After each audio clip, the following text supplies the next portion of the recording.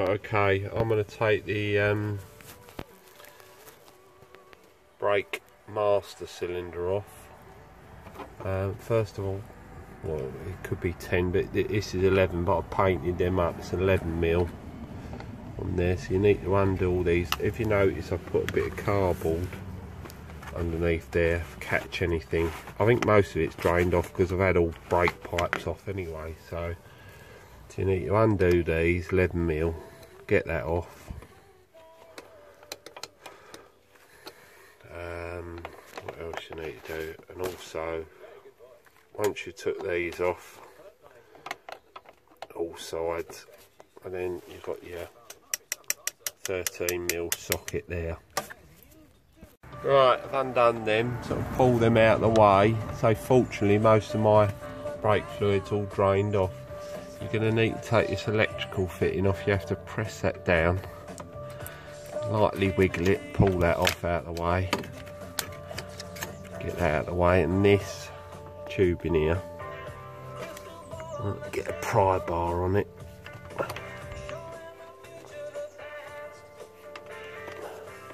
Well, in fact, I might not bother with that. I might just release. See that there? Release that. And the other side. Hold on a minute. Look. There's some plungers on the top, if you can see. See them plungers and they sink into there, so I'm going to lift that off. If you go easy either side on them little locating pins there and once you wiggle it and as you can see there just use the pry bar and ease it up. Can you see that? So lucky enough there's no fluid in mine. You'll have to drain it off first. And then I'll just pull that out of the way and then while I'm at it probably it's a bit gunged up I'll clean all this out.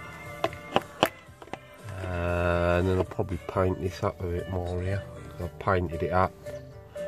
Uh, next thing is the 13 mil bolts on there.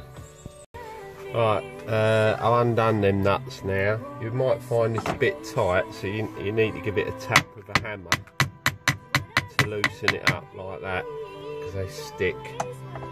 And then um,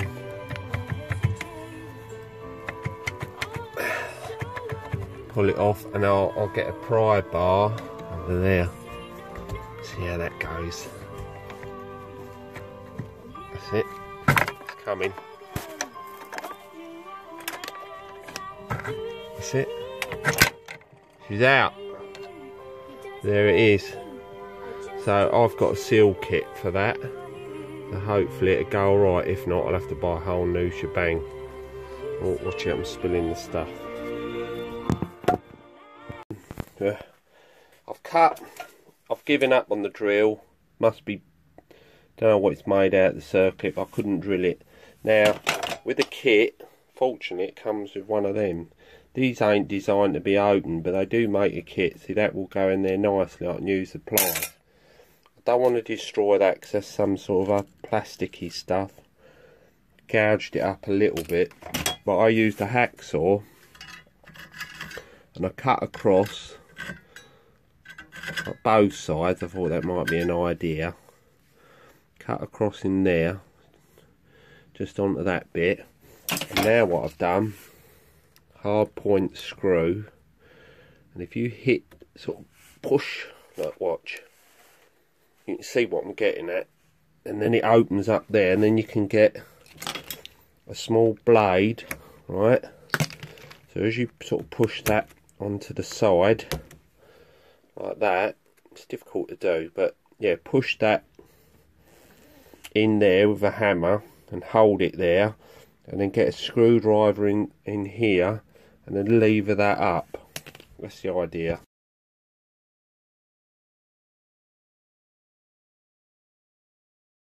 Right, watch. As you can see, it has levered away from the edge. Can you see that? So, I've sort of got that over the edge and now I want to put a screwdriver down that lip to then um, lever that out.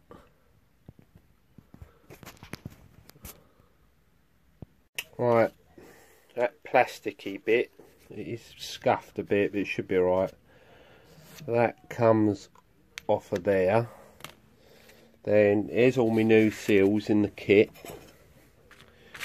including that. That bigger seal goes in here. I'm going to paint all this up anyway, but look, there you go. Pull that one out of there and then I'll get a screwdriver and go into that and give it a thorough clean up. That's it, all, all the rust. That bit, that's the old seal, old clip. Now,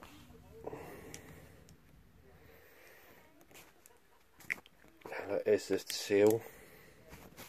Just gently lever that up. I'm hoping the seal that they've given me is going to be the same in the kit. Now, uh, they don't look bad, I don't think. Pretty much same diameter. So obviously that will go face down. Looks slightly different, more or less the same. So put that over there. Um, uh, right. Now I've gone to these, just get a blade and you go just underneath there, look like that. The plungers that go onto the reservoir like that. Oh, what's in there? Let's have a look. Careful with it. Nothing. But anyway, I can clean that up, give that a wipe out with a rag. Next bit, I wrap this shaft, see there, in a bit of cloth to protect that shaft. I didn't know how to get that out. Was, it's obviously like stuck in there and it wouldn't come out. You know, if it's brand new, it'd come out easy. I wrapped that around there, like that, like a couple of turns and then I put the them right underneath like on there like that.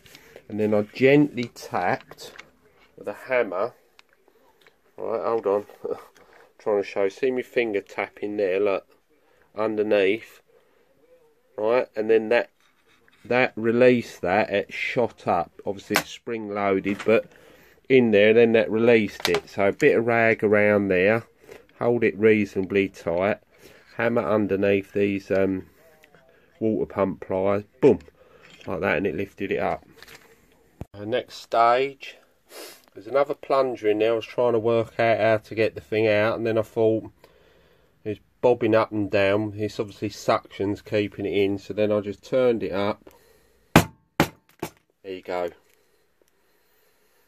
And that's your other two seals. So I'm going to wipe that out with a rag is all the set of seals. I think that I believe they're all the same. The whole lot. So I'm gonna clean that up. Yeah, um, old bit of rag. She's gonna need to clean that out. Poke that in there. Screwdriver. And then sort of turn it around a few times, clean it all up. So I'm going to repaint all this anyway. There you go, that come out. Wipe that over. Your spring, give that a wipe.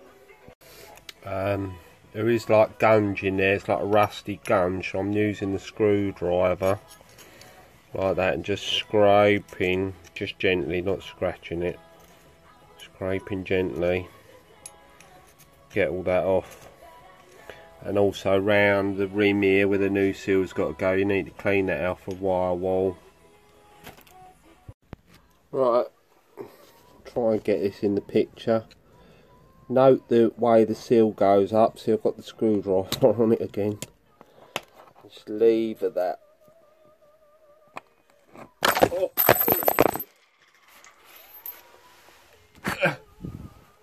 It's off. you get the gist of it. I'm trying to record here at the same time.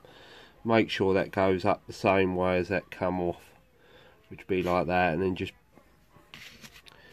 get hold of it and stretch it stretch it over there like that. Easy enough. Yeah like that. Stretch it over. And the same same with the other side there. Pull it off screwdriver and then um, stretch it over again. What I found with see that there right you can prise that off with the blade levering it up.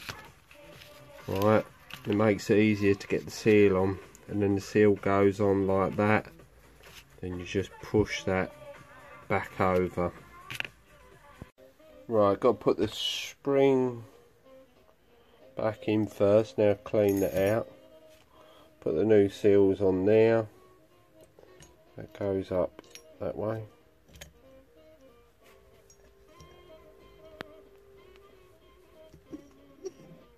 so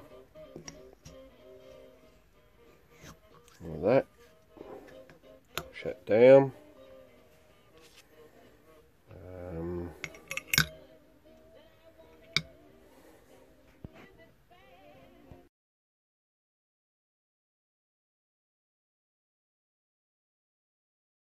right next thing um, that goes back in there washer on top. There's a new seal. It goes face down like so. Now um, and that goes on top like so. Then what you're going to need to do once it's all in you need to push all of that down get the seal in place first hold on. You need to push that in so it sucks the seal in hold on. Um, just been experimenting I've got a long um, socket 19 mil. So I need something to sort of compress that in while I'm putting the circlip in. So that goes in there like that I can hold that and use the circlip pliers while that's held it sturdy and then get it in that recess. And that'll be done. Right last stage. Two new plungers. One in there. One in there. And then you've got your seal. There which goes over there and then fits into this recess there. But before I do that I'm going to paint paint all this up while I've got it off